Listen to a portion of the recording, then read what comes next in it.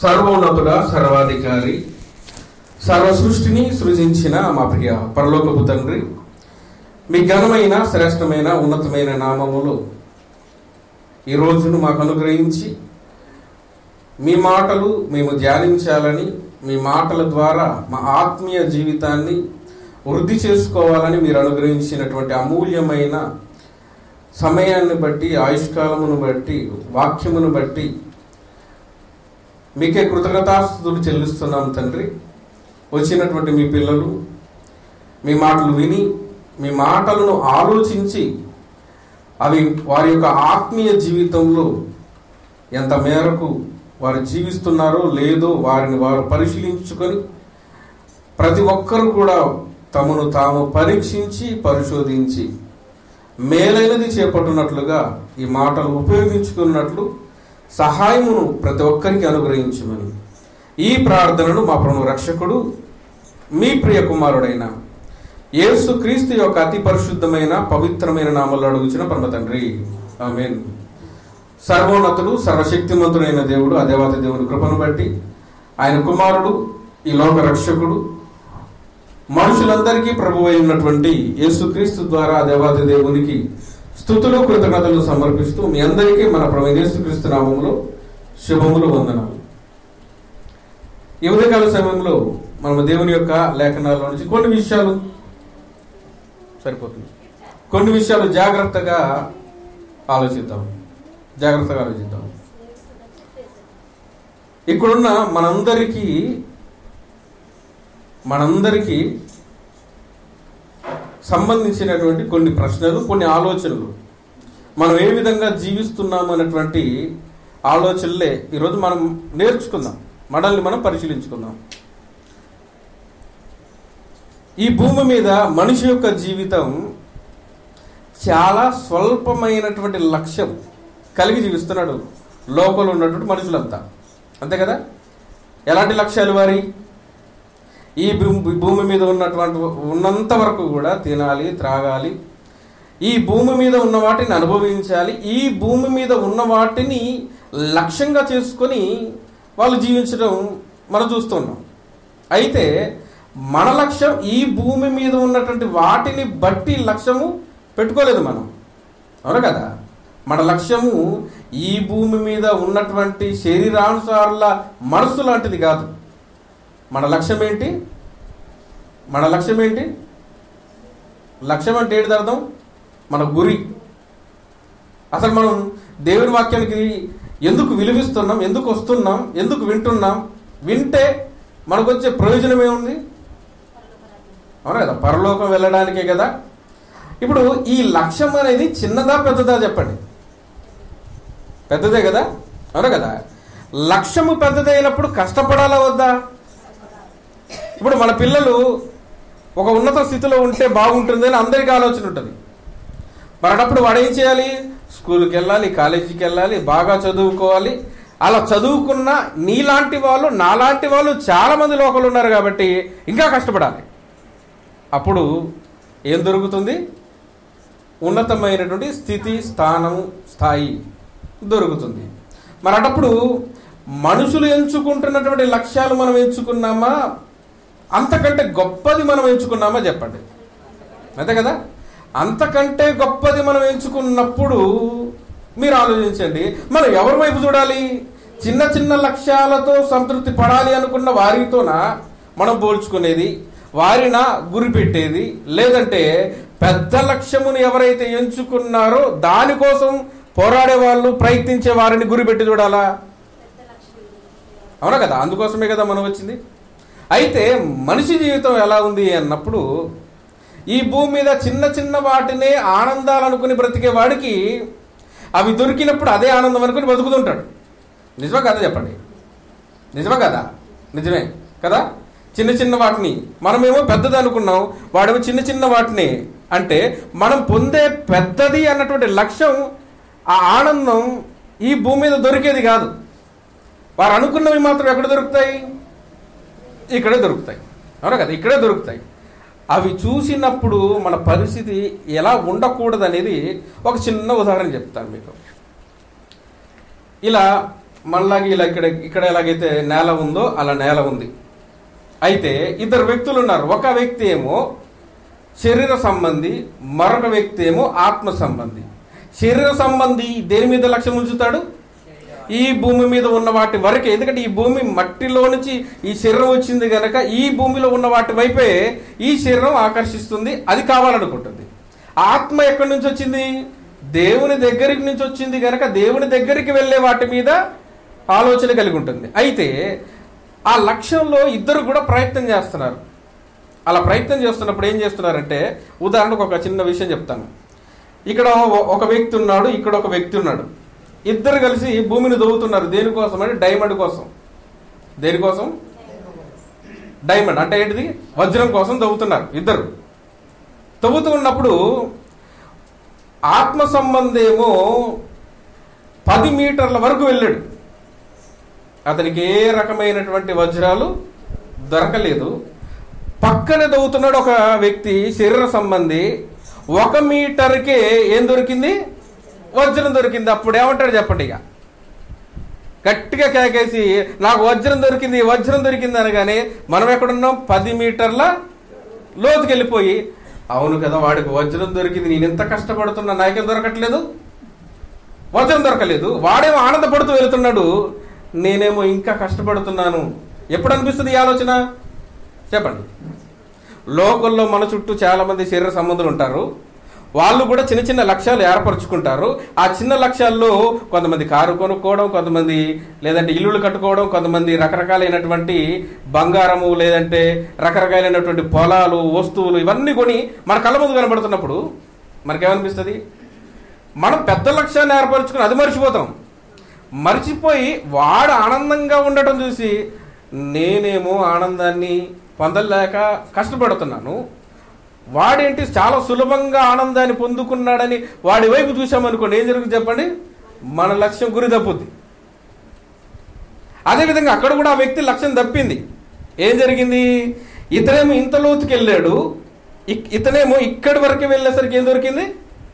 వజ్రం దొరికింది అనుకున్నాడు. ఓహో అయితే ఇక్కడ ఆనందం లేదు. వాళ్ళలాగా నేను ప్రయత్నం చేస్తే నాకేం దొరుకుతుంది? ఆనందం దొరుకుతుంది. అనుకుని ఏం చేశాడు? తాను తవ్వుతున్నది పక్కన పెట్టి అయితే ఇక్కడ లేని వజ్రం ఎక్కడ ఉంటుంది వాడు దొరికిన స్థలంలో ఉంటుందని పది మీటర్ల లోపలికి వెళ్ళినటువంటి ఈ వ్యక్తి పైకి వచ్చి ఒక మీటరు తొవ్వి వదిలేసి బంగారం దొరికిందని వజ్రం దొరికిందని వెళ్ళిపోయాడు కదా. అది తవ్వడం మొదలుపెట్టాడు. అది తవ్వడం మొదలుపెట్టాడు. అంటే ఏం చేశాడు? లక్ష్యాన్ని మార్చాడు. గురి తప్పింది. అంతేనా కదా? లక్ష్యాన్ని మార్చాడు గురి తప్పింది. ఈరోజు లోకంలో జరిగేది మనకు కూడా అదే. మనం ఎంచుకున్న లక్ష్యం ఏమో పరలోకం. అది సహజంగా దొరికేది కాదు. ఎంతండి? ఎన్ని ఇస్తే మనకు పరలోకం ఇస్తాడు దేవుడు? ఎన్ని కోట్లు ఇస్తాడు? ఇస్తాడా? ఇస్తాడా? ఎంత పేరుంటే ఇస్తాడు? ఎంత కీర్తి ఉంటే ఇస్తాడు? అవునా కదా? ఎంత అధికారం ఉంటే ఇస్తాడు? ఇస్తాడా? మరి ఇంత అధికారం ఉన్నా కోట్లున్నా ఎంత పేరు ప్రఖ్యాతులు ఉన్నా దొరకనిది దాన్ని కావాలని మనం ప్రయత్నం చేస్తున్నప్పుడు మళ్ళీ ఎవరి వైపు చూడొద్దు మనం? అవునా కదా? వాడికి చూడు ఎంత పేరుందో వాడికి చూడు ఎంత ధనం ఉందో ఎంత అధికారం ఉందో ఎంత మంచి జీవితం ఉందో అని చూసామనుకోండి మన లక్ష్యం ఏమవుద్ది? గురి తప్పుతుంది ఖచ్చితంగా తప్పుతుంది. కాబట్టి మనకు చాలా సందర్భాల్లో చెప్పిన మాట ఏంటంటే ఓపికతో కొనసాగించండి. పరుగు పందాన్ని ఎలా కొనసాగించాలి? ఓపికతో కొనసాగించండి కొనసాగించండి. ఎందుకంటే మనం ఎంచుకున్నది చిన్న లక్ష్యము. నేను ఒక వీడియో చూశానండి. అసలు నిన్ననే నిన్ననే చూశాను. అసలు చాలా అద్భుతం అనిపించింది. ఏంటో తెలుసా? ఒక పది మంది కలిసి పరుగు పందాన్ని మొదలుపెట్టారు. మొదలుపెట్టిన తర్వాత ఆ పది మందిలో ఒక హ్యాండిక్యాప్డ్ ఇలా రెండు రెండు చేతుల్లో కర్ర ఉంది. ఆ రెండు కాళ్ళు అలా మనం గాల్లో ఏలాడితేనే ముందుకెళ్తుంది. అలా పరిగెట్టే వ్యక్తి అతను. మిగిలిన వాళ్ళందరికీ కాళ్ళు బాగున్నాయి. పరుగు పందులో అతను పాల్గొన్నాడు. ఆ పది మందిలో ఇద్దరు ముగ్గురు ముందుగా వెళ్ళేసి ఏం చేశారు? లక్ష్యాన్ని చేరుకున్నారు మిగిలిన ఐదుగురు ఏడుగురు ఉన్నారు చూసారా ఏం చేశారంటే ఇక ఆల్రెడీ లక్ష్యం చేర్చుకుని చేర్చాక వాళ్ళు చేరుకున్నాక వాళ్ళు గెలిచాక ఇక మనం పరిగెత్తి ఏం చేస్తాం? అని అందరూ సైలెంట్ అయిపోయి మధ్యలో ఆగిపోతే ఈ ఏవైతే రెండు కాళ్ళు లేనటి వ్యక్తి మాత్రం ఆపలేదు పరుగు. నాకు బహుమానం దొరికిన దొరకపోయినా పర్వాలేదు కానీ నేనేం చేయాలి? నా లక్ష్యం ఏంటి? వీళ్ళందరి లక్ష్యమే నా లక్ష్యం. అయితే వెనక ముందు ఏదైనా సరే నేను వెనకైనా సరే ఏం చేయాలి? ఆ లక్ష్యాన్ని చేరుకోవాలని అందరూ చూస్తుండగానే చాలా దూరం పరిగెత్తే వాళ్ళు ఎంత స్పీడ్గా పరిగెత్తారు? వాళ్ళని దాటుకొని వాళ్ళు నిలబడి నవ్వుతూ ఉన్నారు కొంతమంది పిల్లలేమో. అయినా సరే ఆనందంగానే అలా స్పీడ్గా పరిగెత్తే కర్రలతో పరిగెత్తుతూ పరిగెత్తు పరిగెత్తు లక్ష్యాన్ని చేరుకున్నాడు. ఏం నేర్పిస్తున్నాడండి? ఆల్రెడీ వాళ్ళు చేరుకున్నారు కదా అని చెప్పి మిగిలిన కాళ్ళు ఉన్న వాళ్ళు ఏం చేశారు? ఆగిపోయారు. కాళ్ళు లేని వ్యక్తి ఏం చేస్తున్నాడు?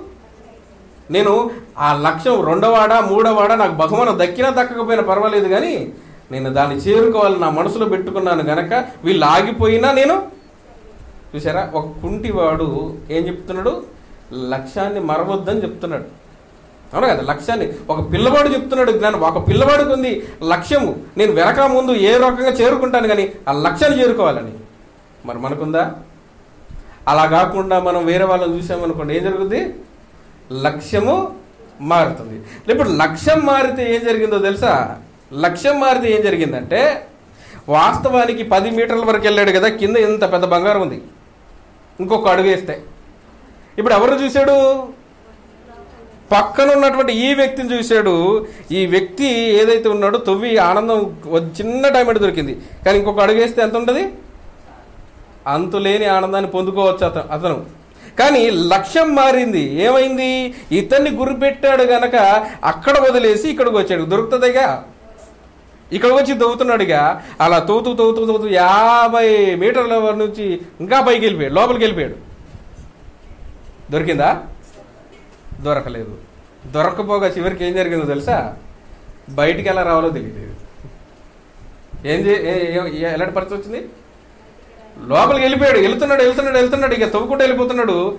చివరికి చూస్తే చాలా లోతులోకి వెళ్ళిపోయాడు. పైకి ఎలా రావాలో మనం కూడా లోకాన్ని గురి పెడితే ఇదే జరుగుతుంది. మనం ఎంచుకున్న లక్ష్యం అందరూ ఎంచుకున్నది కాదు. అందరూ కోరుకుంటున్నది కాదు. అలాగని అందరూ కావాలంటే దొరికేది కూడా కాదు. అలాంటి లక్ష్యాన్ని ఎంచుకున్నప్పుడు ఈ భూమి మీద వెలగలవి ఏది కూడా ఇచ్చినా దొరకనిది. మనం ఎంచుకున్నప్పుడు మన లక్ష్యాన్ని ఎప్పటికీ మనం మరచిపోకూడదు. అది మన లక్ష్యం. అది మన గురి. దానికోసమే మనం ఆలోచిస్తూ ఉండాలి ప్రయత్నం చేస్తూ ఉండాలి. అర్థమైందా? అలా లక్ష్యాన్ని కలిగి ఉండాలి. అయితే మనుషులందరూ ఇలా పక్కవారిని చూసి పక్కవారిని చూస్తూ చూస్తూ వాళ్ళలా బ్రతకాలని ఆలోచిస్తూ ఆలోచిస్తూ మనుషులందరికీ ఏమున్నాయి తెలుసా? కనిపించని తాళ్ళున్నాయి. ఏమున్నాయి? కనిపించని తాళ్ళున్నాయి. పక్షులకు తాళ్ళుంటాయా? కట్టేస్తారా? పక్షులకు ఏమున్నాయి చెప్పండి? పక్షులకు ఏమున్నాయి ఇక్కడ ఎంతమందికి ఉన్నాయి రెక్కలు? పక్షులకు ఏమున్నాయి? రెక్కలున్నాయి. ఇక్కడ ఎంతమందికి రెక్కలున్నాయి? అంటే అర్థమేంటి తెలుసా? రెక్కలు ఉన్నాయి అంటే అర్థం ఏంటంటే ఏం చేస్తున్నాడు మనిషి అని అంటే ఇప్పుడు మన చేతుల్ని మోస్తున్నాయి ఏంటి? మన చేతులు ఏం మోస్తున్నాయండి? ఏం మోస్తున్నాయి? మోస్తున్నాయి లేదు. ఎంతకాలం మోస్తాయి? అరవై సంవత్సరాలు. అంతే కదా. మన రెండు చేతుల్ని మోసేది ఏంటిది? భుజం. భుజం కదా. ఏం చేస్తుంది? అరవై సంవత్సరాలు మోస్తుంది. మన చేతులు ఎంత బరువు ఉంటాయి చెప్పండి? ఒకవేళ ఇదొక ఐదు కేజీలు లేదా పది కేజీలు ఇదొక పది కేజీలు. ఇరవై కేజీల బరువు ఉన్నటువంటి ఈ రెండు చేతుల్ని భుజము ఎంతకాలం వస్తుంది చెప్పండి. ఎంతకాలం వస్తుంది బ్రతికున్నంత వరకు రైట్ ఆన్సర్. సార్ అరవై అనడం కన్నా ఎందుకంటే అరవై కంటే బతికి ఎక్కువ బతికిన వాళ్ళు ఉన్నారు కాబట్టి బ్రతికున్నంత వరకు ఈ రెండు చేతుల్ని భుజం మోస్తుంది. కదా? అయితే అలా మోసే భుజాలను పక్కన పెడితే ఏం జరుగుతుందంటే అదే మీరు ఒక్కసారి హలేలు అనండి. అలాగే ఉండండి. అలాగే ఉన్నారు కదా ఎంతసేపు ఉంటారు చెప్పండి. ఎంతసేపు చెప్పండి? అది ఎంతసేపు? అంతేనా కదా? అంటే భుజం అరవై సంవత్సరాలు మోస్తుంది. భుజం కాదని మనం చేతులు లేపామనుకోండి ఎంతసేపు మోస్తుంది మన శరీరం? భుజము చాలా చిన్నది. ఈ దేహము చాలా పెద్దది. పెద్దదైన ఈ దేహము ఈ చేతుల్ని ఎంతసేపు మోయగలదు? ఐదు నిమిషాలకు మించి మోయలేదు. అవునా కదా? సేమ్ ఇదే విధంగా జరుగుతుంది మనిషి జీవితంలో. కనిపించని తాళ్ళు కనబడుతున్నాయి. మనిషి జీవితంలో ఏం కనబడుతున్నాయి? కట్టేసిన కనిపించని తాళ్ళు. ఎందుకు మీకు రెక్కలు ఉన్నాయి అని అడిగానంటే పక్షులు అంటే అందరికీ ఇష్టం. అందుకోసం ఇట్లా పెట్టుకుంటాం. ఎందుకు చెప్పండి? అలంకరణ కోసమా? అసలు పక్షుల్ని ఎందుకు ఇష్టపడతామని చెప్పండి కనీసం. పక్షులు అంటే మనకి ఎందుకు ఇంత ఇష్టం? అవి ఫ్రీ బర్డ్స్ అంటారు కదా? అంటే అర్థం ఏంటి స్వేచ్ఛాజీవులేంటి? స్వేచ్ఛాజీవులేంటి? పక్షులు. అవును కదా? బానిసలు అవి? ఎవ్వరికి బానిసలు కాదు. అంతే కదా? ఎవ్వరికి బానిసలు కానివి ఏంటి అంటే పక్షులు. అవి ఎలా కనబడుతుంటాయి అంటే స్వేచ్ఛ. నాతో ఉంటావా? అన్న అన్నావు అనుకోండి ఉంటాయి? ఉంటాయా? నాతో ఉంటే నీకు లక్ష ఇస్తానంటే ఉంటుందా? రెండు లక్షలు ఇస్తానంటే? ఉంటుందా? మనం ఏ ఆశ కల్పించినది ఉండదు. ఎందుకంటే అది స్వేచ్ఛాజీవి నువ్వు దాని కొనలేవు. అందరే కదా స్వేచ్ఛాజీవి అది. అయితే మన జీవితాలు ఎలా ఉండాలంటే రెక్కలు కలిగినటువంటి పక్షిలాగా ఉండాలి. అంటే అర్థం ఏంటో తెలుసా? ఒక రెక్కలు కలిగినటువంటి పక్షి ఇక్కడ వాలిందండి. మీరు దానికి ఒక రాయి వేశారనుకోండి ఏదైనా చేశారనుకోండి ఏం జరుగుతుందండి అది? ఎగిరిపోద్ది అంతే. అంతేనా కదా? ఎగిరిపోద్ది అంతే. అంతే కదా? ఇదంతా నాది అనుకుంటుంది అది? అవునా కదా? నాది అనుకుంటుంది అది? అనుకోదు. అమ్మో దీన్ని విడిచిపెడితే ఎలా అనుకుంటుందా? అనుకోదు. ఎందుకంటే అది ఎవరికి బానిస కాదు స్వేచ్ఛాజీవి. అసలు ఏది ఉన్నా సరే ఎంత ఉన్నా సరే అలా అనగానే వెంటనే ఏం చేస్తుంది అది? ఎగిరిపోద్ది. ఈరోజు మనం దేవుని కోసం ఎక్కడికైనా ఎగరగలిగే పక్షిలాగా ఉన్నామా? లేకపోతే కట్టేసిన తాళ్ళు కనబడుతున్నాయి చెప్పండి. అవునా కదా? కనిపించని తాళ్ళు కనబడుతున్నాయి. స్వేచ్ఛగా కదలట్లేదు. అవును కదా? మెడ కూడా తిప్పలేకపోతున్నాం మనం కొన్నిసార్లు. అంటే మనకేం తాళ్ళు కట్టారు? కనిపించని తాళ్ళు కట్టేశారు. పక్షులకి ఏ తాళ్ళు లేదు ప్రతి మనిషి ఎలా ఉండాలి? రెక్కలు కలిగిన ఎవరి విషయంలో? దేవుని విషయంలో ప్రతి మనిషి రెక్కలు కలగ కలిగిన పక్షిలాగా జీవిస్తే స్వతంత్రుడు. అంతే కదా? స్వతంత్రుడు ఎవరు? రెక్కలు కలిగిన పక్షిలాగా జీవించిన వాడు అవునా కదా? అలా జీవించినవాడు. ఎక్కడికైనా వెళ్ళగలిగిన వాడు ఎక్కడికైనా ఏదైనా చేయగలిగిన వాడు ఎవరైనా రాగలరండి ఒక ఉద్యోగం చేస్తున్నాడు అనుకోండి. ఎక్కడికైనా రాగలరా రాత్రి అయినా పగలైనా రోజైనా వారమైనా ఏదైనా సరే పక్కన పెట్టేసి రాగలరా? రాలేరు. ఎందుకంటే ఒక అధికారము కింద కట్టివేయబడ్డారు. అంతే కదా? ఒక అధికారము క్రింద కట్టివేయబడ్డాం మరి వాళ్ళంటే ఉద్యోగాలు చేస్తున్నారు కాబట్టి ఏం చేయలేకపోతున్నారు? రాలేకపోతున్నారు. మరి మనకెవరు కట్టారు తాళ్ళు? మనకెవరు కట్టారు తాళ్ళు? ఆలోచించారు ఎప్పుడన్నా? వాళ్ళు ఉద్యోగం చేస్తున్నారు కాబట్టి పై అధికారులు ఉన్నారు కాబట్టి వాళ్ళు కట్టేశారంటే బాగుంది. అవును కదా? మనకెవరు కట్టారు తాళ్ళు? మనం రాలేకపోతున్నట్టు అర్థం ఏంటి? కట్టేశారు తాళ్ళు. అవును కదా? ఎలా కట్టారు? ఎవరు కట్టారు? వాళ్ళకేమో పై అధికారులు కట్టారు మనకు మాత్రం మనమే కట్టుకుంటున్నాం. తెలుసా మీకు ఇది మనకేం చేస్తున్నాం? మనమే కట్టుకుంటున్నాం. అంతకుముందు ఒక మాట ఉండేది ఏంటో తెలుసా? ఒక పని చేస్తున్నాడు అనుకోండి నెలకు ఎంత వస్తుంది అని అడగడం? మామూలు ప్రశ్న. నీకెంత వస్తుంది అని. అంతే కదా? నిజమే కదా? నీకు ఎంత వస్తుంది అని అంటాం. సహజంగా ఇప్పుడు కూడా అడుగుతాం. కానీ మీరు అడగాల్సిన రెండో ప్రశ్న కూడా ఉంది. తెలుసా మీకు ఇది? సహజంగా ఏ వ్యక్తినైనా ఉద్యోగం చేస్తున్నాడు పని చేస్తున్నాడు అనుకుంటే ఏమడుగుతాం? ఎంత వస్తుంది అని అడుగుతాం. అడుగుతావా లేదా? అడుగుతాం. ఇది మొదటి ప్రశ్న. అయితే రెండో ప్రశ్న కూడా మీరు అడగాలి. రెండో ప్రశ్న కూడా ఉంది. ఎందుకంటే మనం కట్టివేయబడ్డాము అనటానికి రెండో ప్రశ్నే ఆధారం. ఏంటో రెండో ప్రశ్న తెలుసా? నెలకు ఎంత కడుతున్నావు నెలకు ఎంత కడుతున్నావు? కడుతున్నా లేదా? అర్థం కాలేదా? ఇప్పుడు నెలకు ఎంత వస్తుంది అనేది మనం ఒకరి దగ్గర పని చేసినప్పుడు దానికి ప్రతి ప్రతిఫలంగా మనం పొందుకునేది ఎంత వస్తుంది అనేది. ఎంత కడుతున్నామంటే మనం ఎందుకు కడతాం? ఎవరికి జీతం ఇస్తున్నాం మనం? జీతం ఇట్లే కానీ కడుతూనే ఉన్నావా లేదా మనం? అన్న ఈరోజు సెమినార్ ఉంది రమ్మన్నాం అనుకో. లేదన్న నేను ఒక ఐదు వేలు ఏం కట్టాలి? చిట్టి కట్టాలి. అంటున్నారు లేదా? వాళ్ళు కడుతున్నారా ఈయనే కడుతున్నాడు చెప్పండి. ఏం చేస్తున్నారు? ఎంత వస్తుంది అనే కాదు ప్రశ్న ఇప్పుడు. రోజు నువ్వు ఎంత కడుతున్నావు అని అడగాలి ఇప్పుడు. ఎంత కడుతున్నావు అని అడగాలి. ఎందుకంటే నేను గడిచిన రెండు రోజుల్లో ఇదే చూశాను. అందరి జీతం ఎంతో తెలుసా? నేను మాట్లాడినటువంటి విన్నటువంటి వ్యక్తుల జీవితాలు ఎంత అంటే ఒక వ్యక్తి అందరికి ఇంచుమించుగా డెబ్బై నుండి లక్ష నలభై వరకు జీతం. ఎంత? డెబ్బై నుండి లక్ష నలభై వరకు ఉంది జీతం.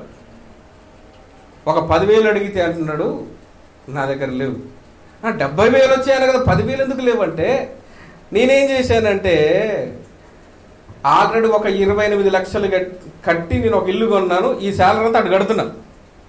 అని ఒక ఆయన అంటే నేను డెబ్బై లక్షలు పెట్టి ఒక ఇల్లు కొన్నాను నెల నెల నేను జాబ్ కాబట్టి డబ్బులు తీసుకొని ఏం చేస్తున్నాను? నెల నెల నా జీతాన్నంతా దానికి కడుతున్నాను. కనుక నా దగ్గర ఏమీ లేదు. ఇంటి ఖర్చులకు ఇరవై వేలు ఉంచుకుంటున్నాను. పిల్లలకు చదువులకు ఇంటి ఖర్చులకు రెంట్కి ఇవన్నీ పోను మిగతా అదంతా ఏం చేస్తున్నాను? కడుతున్నాను. కనుక నా దగ్గర రూపాయ లేదు. అంటే అర్థమేంటి చెప్పండి? అంటే అర్థమేంటి కనిపించని తాళ్ళు మనకు మనమే కట్టుకుంటున్నాం. ఇప్పుడు ఎవరు స్వేచ్ఛాజీవి చెప్పండి? అవును కదా? పక్షులు స్వేచ్ఛాజీవులు మనకంటే. అలా జీవించే వాళ్ళు ఎంతమంది ఉన్నారో చెప్పండి. అలా జీవించే వాళ్ళు ఈ భూమి మీద ఎంతమంది ఉన్నారో చెప్పండి. అలా జీవిస్తున్నామని చెయ్యెత్తగలరు ఎవరైనా? అవునా కదా? ఆల్రెడీ మనం ఏం చేసాం? కనిపించని తాళ్ళను ఎన్నో కట్టేశాం ఈరోజు ఎలా ఉందంటే అధికారం ఒకవేళ ఒక వ్యక్తి యాభై వేలు సంపాదిస్తున్నాడు అనుకో పదివేలు సంపాదించారే నీకు పదివేలు అంటున్నాడు. అర్థమైందా? ఏమంటున్నాడు? ఒక యాభై వేలు సంపాదించే వ్యక్తి ఎలా చూస్తాడు ఒక పదివేలు సంపాదించే వ్యక్తిని ఒరే నీకు పదివేలు రా నవ్వుతున్నట్టుగా చూస్తుంటాడు. ఇది ఎలా ఉంటుందంటే అందరూ బందీలే. అందరూ కూడా బందీలే. ఇప్పుడు ఈ వ్యక్తి ఉన్నాడు చూసారా? దీనికి పరిమితమై ఉన్నాడు ఒక వ్యక్తి. దీన్ని దాటి రాలేడు. ఆఫీస్ దాటి రాగలరా? పది రోజులు రాలేరు. వస్తే ఉద్యోగం ఉండదు ఇక. కాబట్టి ఇష్టం ఉన్నా లేకపోయినా ఆ పరిధి దాటి బయటికి రాలేడు. బయట ఒకడు ఉన్నాడు ఈడ చూసి నవ్వుతున్నాడు. కానీ ఈడు కూడా ఒక బందీ కింద ఉన్నాడు అన్న సంగతి అర్థం కావట్లేదు అంతే లోకం అంతా ఇదే ఇదే జ- జరుగుతుంది. ప్రతి ఒక్కరు బందీలే. కాకపోతే ఖైదీలు ఉంటారు కదా కరుడు కట్టిన నేరస్తుడు నేరస్తుడు. నేరస్తునే మామూలు జైల్లో ఉంచుతారు. కరుడు కట్టిన వాడిని ఇంకా భద్రత ఎక్కువ పెట్టి ఉంటుంది అంతే తేడా. అందరూ కూడా ఏమంటారు? ఖైదీలే. ఈ భూమి మీద ఉన్నటువంటి మనుషులంతా ఎవరు? ఖైదీలే. అయితే కొంతమంది ఏమో తమకు తామే కనిపించని తాళ్ళు కట్టుకుంటున్నారు. మరికొంతమంది ఏమో అనవసరంగా ఏం చేస్తున్నారు? వీటన్నింటికి అనగా తృప్తి లేని జీవితము కారణంగా ప్రతి దానికి ఏమవుతున్నాడు మనిషి? బందీ అయిపోయాడు. ఏమైపోయాడు? బందీ అయిపోయాడు. కనుక స్వేచ్ఛా జీవులు ఈరోజు భూమి మీద లేరు. ఎక్కడికంటే అక్కడికి ఎన్ని రోజులు అంటే అన్ని రోజులు. ఏ విధంగానైనా ఎక్కడి నుంచి ఈ క్షణం వెళ్ళిపోవచ్చు అంటే వెళ్ళేవాళ్ళు. ఏ క్షణమైనా రమ్మంటే వచ్చేవాళ్ళు ఈ భూమి మీద లేరు. అలా ఉన్న వాళ్ళు ఎవరు? రెక్కలు కలిగిన పక్షులు. అంతే కదా రెక్కలు కలిగిన పక్షులు. అయితే నిజంగా మనిషి జీవితంలో తృప్తి ఉందా? తృప్తి ఉందా? మీరు ఆనందంగా ఉన్నారా అంటే మీరు ఆనందంగా ఉన్నారా అంటే లక్ష సంపాదించిన ఏం లేదు ఆనందం లేదు. అవును కదా? రెండు లక్షలు సంపాదించినా ఆనందం లేదు. ఎందుకు లేదు? ఎందుకు లేదు తెలుసా? ఎందుకు లేదంటే ప్రతి మనిషి ఏం చేస్తున్నాడంటే ఒకవేళ నేను పది కేజీలు మోయగలను అనుకోండి.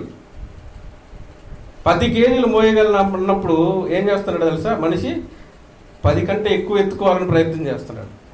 అప్పుడు ఏమవుతుంది బరువు ఎక్కువ అవుతుంది అవును కదా? సామర్థ్యము కంటే ఎక్కువ మోయాలనుకుంటున్నారు కనుక ఈరోజు మనిషికి స్వతంత్రం లేదు. అదే నేను ఒక కేజీ మోసాను అనుకోండి ఏం చేయొచ్చు? ఈజీగా వెళ్ళిపోవచ్చు. అంటే మన సామర్థ్యానికి తక్కువ పని పెట్టుకుంటే చాలా సులభంగా జీవించవచ్చు మనిషి. లక్ష వచ్చినా ఎందుకు ఆనందంగా లేడంటే సామర్థ్యానికి మించి పనులు పెట్టుకున్నాడు బాధ్యతలు పెట్టుకున్నాడు భారాన్ని పెట్టుకున్నాడు గనక మనిషి జీవితంలో ఆ ఆనందం అనేది లేదు తృప్తి అనేది లేదు. అయితే దేవుడు మనకు ఏం నేర్పిస్తున్నాడు అంటే ఈరోజు సంతృప్తి కలిగిన జీవితము జీవించాలంటే ఏ విధంగా ఉండాలో నేర్పిస్తున్నాడు. సంతృప్తి కలిగిన జీవితం. ఎలా ఉంటుంది అది? ఎలా ఉంటుంది? తృప్తి కలిగి జీవించడం అంటే అర్థం ఏంటంటే మనము కలిగి ఉన్న దానిని ఉన్నది ఉన్నది ఉన్నట్టుగా జీవించటం తృప్తి. ఓకేనా? సంతృప్తి అంటే అర్థం ఏంటి తెలుసా? సంతృప్తి అంటే అర్థం ఏంటి తెలుసా? మనకున్నది ఉన్నట్టుగా ఉన్నా దాన్ని పూర్తిగా అనుభవించకుండా దాన్ని ఇంకా కొంచెం ఉన్నా కానీ నాకు ఇది చాలు. మన దగ్గర పది ఉన్నా నాకు ఐదు చాలు అనుకోవడం. పది ఉంటే పదిని మాత్రం అనుభవించడం తృప్తి. పది ఉంటే ఐదును మాత్రమే చాలు అనుకొని అనుభవించటం సంతృప్తి. పది ఉంటే పదిహేను కావాలని పరిగెత్తడం అలా పరిగెత్తడం ద్వారా వచ్చేది అసంతృప్తి అర్థమైందా? పది ఉంటే పదితో బ్రతకడం తృప్తి. ఐదుతో ఇంకా సర్దుకుపోవడం నాకు చాలు అనుకోవడం సంతృప్తి. పదిహేను కావాలనుకోవడం అసంతృప్తి. నీ దగ్గర పదే ఉన్నాయి. ఎంత కావాలనుకుంటున్నావు ఇంకా? ఇంకా ఎక్కువ కావాలనుకుంటున్నావు కదా? అదే అసంతృప్తి. ఈరోజు భూమి మీద మనుషులు తృప్తి కలిగి జీవిస్తున్నారా? లేదా అసంతృప్తి కలిగి జీవిస్తున్నారా? ఎవరిది వాళ్ళకు తెలుసు.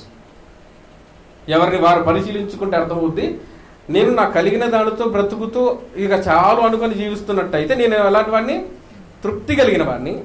నాకు కలిగి ఉన్నది కూడా ఇక ఇది కూడా అనుభవించడం అంతగా లేదు. ఇంకా ఇంకా ఆనందంగా జీవించాలనుకుని ఉన్నదాన్నే పక్కన పెట్టేశానంటే అది సంతృప్తి లేదు. ఇంకా కావాలని ఆలోచిస్తుంది అంటే మనకు మిగిలేది అసంతృప్తి. మీకు తెలుసా? మొన్ననే ఒక న్యూస్ చూశాను. రజనీకాంత్ ఎంతమంది తెలుసండి? Cinema hero Rajinikanth. ఇప్పుడు రజనీకాంత్ చూస్తే ఏమనిపిస్తుంది మనకి? బా ఏమన్నా జీవితం అది. అనిపిస్తా లేదా? ఎన్ని కోట్లు సంపాదించాడు ఆయన కోసం ప్రాణం పెట్టే వాళ్ళు ఉన్నారు. అంతేనే కదా? ఆయన కోసం చచ్చిపోయే వాళ్ళు ఉన్నారు. ఒకవేళ ఆయన చనిపోయేటంటే చాలామంది గుండెలు కూడా ఆగిపోతాయి. ఎన్టీఆర్ చనిపోయినప్పుడు నేను చిన్నవాడినే మా ఊళ్ళో కూడా ఒక వ్యక్తి సేమ్ కొద్ది కొద్దిగా చూస్తే ఎన్టీఆర్ లాగానే ఉంటాడు. ఎన్టీఆర్కి వీరాభిమాని. ఆయన చనిపోయిన రోజే ఆయన గుండాకి చనిపోయాడు. ఎంత వీరాభిమాని అంటే ప్రాణం ఇచ్చేంత ఆయన అన్నాడు నేను నా జీవితంలో పది శాతం మాత్రమే నాకు తృప్తి దొరికింది. తొంభై శాతం నాకు అంత ఏ మిగిలింది? అసంతృప్తే. నా జీవితంలో నేను ఆనందంగా లేనో చెప్పేశాడు. ఎవరు? ఎవరినైతే గురి పెడుతుందో సమాజం ఎవరిలాగా అయితే బ్రతకాలి అదిరా జీవితం అనుకుంటుందో ఆయన చెప్పినటువంటి విషయం ఏంటంటే నా జీవితంలో పది శాతం కూడా నేను ఆనందంగా లేను. చూసారా? లోకాన్ని గురిపెట్టి లక్ష్యాన్ని సాధించే వాడికి చెప్పే ఆన్సర్ అదే. ఏమంటున్నాడు? అందరేమో ఆయన గురి పెడుతుంటే ఆయన ఏమన్నాడు? నేను పది శాతము కూడా ఆనందంగా లేను అన్నాడు. పై కనబడుతున్నటువంటి వస్త్రాలు పై కనబడుతున్నటువంటి కార్లు బంగళాలు అది చూసి తృప్తి అనుకుంటే ఎట్లా మనం? ఆయన అంతరంగంలో ఏం ఆలోచిస్తున్నాడు ఏం ఆనందంగా ఉన్నాడా? బాధపడుతున్నాడు. ఎవరికి తెలుస్తుంది? ఆయన చెప్తే తప్ప. అంతే కదా? ఆయన చెప్తే అర్థమవుతుంది. నేను ఆనందంగా ఉన్నానా? బాధలో ఉన్నానా? మరి అన్ని కలిగిన వాడు ఎలా ఉన్నాడట? నాకు ఆనందమే దొరకలేదు అన్నాడట సరే ఆయన కంటే చిన్న లక్ష్యము ఆయన కంటే ఏం దొరుకుతుంది? చిన్న చిన్న లక్ష్యాలు పొందుకొని చాలా ఎత్తుకు ఎదిగాడు అనుకుంటే మనం ఎంచుకున్నది చిన్న లక్ష్యమా? కాదు కదా. మరటప్పుడు నిజంగా మనకు ఆనందం దొరుకుతుందో దొరకట్లేదా? అసలు ఆనందం దొరకాలంటే ఏం చేయాలో తెలుసా అసలు? నిజంగా ఆనందం దొరకాలంటే ఏం చేయాలో తెలుసా? ఏమనుకుంటామన్నా మనం? మన ఆనందం దొరకాలంటే మనం అనుకున్నవి దొరికితే మనకు ఆనందం. అంతే కదా? అంతే కదా? మనం ఏమనుకుంటాం? మనకు ఆనందం దొరకాలంటే మనం ఏమైతే కావాలనుకున్నామో మన దగ్గరకు వచ్చాయనుకోండి అది ఆనందం అనుకుంటాం కదా? రైట్ అదే ఆనందం అనుకుంటే నేను ఒక చిన్న ఎగ్జాంపుల్ చెప్తా. ఒక క్లాస్ రూములో ఇరవై మంది పిల్లలు ఉన్నారు. ఇలాగే మీరే అనుకోండి. ఇలా క్లాస్ రూమ్లో ఇరవై మంది పిల్లలు ఉంటే టీచర్ ఏం చేసిందంటే పిల్లలకైతే పెద్ద పెద్ద కోరికలే ఉంటాయండి చిన్న చిన్నవి అప్పుడు ఏం చేసిందంటే ప్రతి ఒక్క విద్యార్థికి బెలూన్స్ ఇచ్చింది. బెలూన్ తెలుసు కదా? బెలూన్స్ ఇచ్చింది. ఇప్పుడు అలా అలా ఎలా ఎలా ఆలోచిస్తారు చెప్పండి? ఇది నాది. అందరే కదా? ఏమనుకుంటారు వాళ్ళు? ఇది నాది. అనుకుంటారా లేదా? అలా అనుకుంటున్నప్పుడు ఏం చేసిందంటే ఆ బెలూన్ మీద అంటే ఎలా ఉంది ఆ బెలూను? ఊది గాలి నింపి ఇచ్చిన తర్వాత చెప్పింది ఏంటంటే వాటి మీద మీ పేరు రాసుకోండి అన్నది. ఏం రాసుకోమంది? పేరు రాసుకోమంది. అందరూ కూడా పేరు రాసుకున్నాడు. పేరు రాసుకున్న తర్వాత మనకి ఎట్లుంటుంది ఇక ఇది నా సొంతం నాది. ఇక చాలా ఆనందంగా ఉన్నారు ఎందుకంటే నాకంటూ పలానా ఇది ఉంది అని అందరూ కూడా ఆనందంగా ఉన్నారు. అందరికి ఉన్నప్పుడు ఆనందంగా ఉన్నారా లేదా చెప్పండి? ఉన్నారు. అలా ఆనందంగా ఉన్న తర్వాత టీచర్ ఏం చేసిందంటే ఏం చెప్పిందంటే ఈ బెలూన్స్ అన్నీ ఈ గదిలో వదిలేసి మీరు అందరు బయటికి వెళ్ళమని చెప్పింది. ఏం చేసింది? బయటికి వెళ్ళమని చెప్పింది. అలా బయటికి వెళ్ళిన తర్వాత కొద్దిసేపటి తర్వాత ఆ బెలూన్లన్నీ చల్లా చెదురుకుడు ఇలా కూర్చున్నారు. ఒక్కొక్కరి చేతిలో బెలూన్ ఆడ పెట్టారు టీచర్ ఏం చేసింది? చల్లా చెదురు చేసేసింది.